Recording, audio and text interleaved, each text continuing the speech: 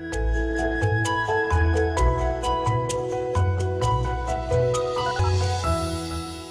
Եվրոպայի խորհրդի խորհրդարանական վեհաժողովի ձմեռային նստաշրջանում նոյեմբերի 23-ին քննարկվելու է Ադրբեջանի սահմանամերձ շրջաները միտումնավոր զրկված են ջրից անվանումով զեկույցը, որը վերաբերում է Լեռնային Ղարաբաղի Սարսանգի ջրամբարին։ Մեկ այլ հակահայ զեկույց վեհաժողովում քննարկվել է 15 օր առաջ բռնության աճը Լեռնային Ղարաբաղում եւ Ադրբեջանի մյուս գրավյալ տարածքներում վերնագրով, որով պահանջվում է հայկական զորքերը դուրս բերել Ադրբեջանի գրավյալ տարածքներից։ Բանաձևում պակասում է ընդամենը մի բան, որ որը Ալիևը ասաց հետո, որ Երևանը դա ադրբեջանական քաղաք է։ Միայն այդ թեզը չկա այդ բանալի։ Մնացած ադրբեջանական թեզերը, որը են այս տարիներին, մնացած են բանաձևը, տվել են Բաքվին, գրել են, կարող են էսել գրեին, այս մեկը չեն գրել, հետո բաց Ալիևը ՅՈՒՆԵՍԿՕ-ին դա ասաց։ Ինչի համար է սա։ Սա տպավորություն է ստեղծում, որ մեծ կոնֆլիկտ է ստեղծվում նորից Ղարաբաղի հարցի շուրջ։ Բռնության աճը Լեռնային Ղարաբաղում եւ Ադրբեջանի մյուս գրավյալ տարածքներում Ուոլթերի Բանաձևի արդեն ընդունված նախագիծն ու հետեւաբար հայկական պատվիրակության պարտությունը ըստ ՀԱԿ խմբակցության ղեկավար Լևոն Զուրաբյանի ամբողջությամբ իշխանության մեղքն է, քանի որ պատվիրակության անդամներն ուղղորդվում են իշխանության, մասնավորապես արտգործնախարարության մշակած ռազմավարությամբ։ Եթե մենք հասկանայինք ինչ որ պահից, որ այլևս Ղարաբաղի վերաբերյալ զեկույցից խուսափել հնարավոր չէ, Դա պետք է համարել կատարված փաստ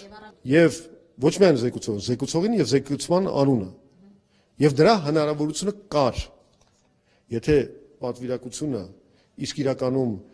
մեր արտաքին քաղաքականությունը կենտրոնանար այդ հարցի վրա, մենք այդ հարցի լուծումը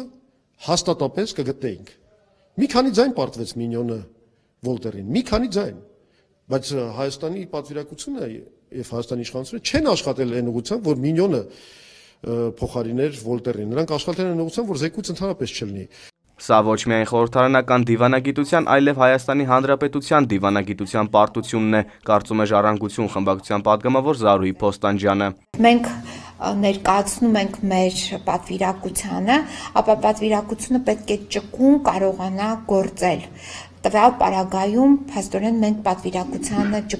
ճկունությունից զրկել ենք եւ այդ ճկունությունից զրկվածությունը պայմանավորված է նաեւ Ռուսաստանի Դաշնության նկատմամբ դրսևորված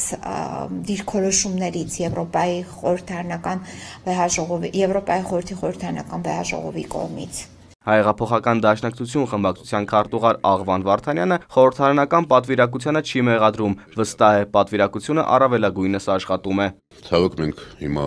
ստացել ենք մի իրավիճակ, երբ որ եվրոպական շատ կառույցներում Ադրբեջանը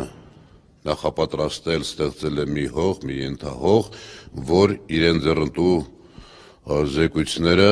եւ զեկուցողներն են ընտրվում իրենց ուզածով եւ հիմնական քվեարկողները տվյալ հանձնաժողովներում ամբողջովին ադրբեջանական լոբինգի ազդեցության տակ են եւ վստահ եմ որ շարունակելու է այս process-ը Արտուր Ավանեսյան, Արտուր Ղահրամանյան, առաջին լրատվական։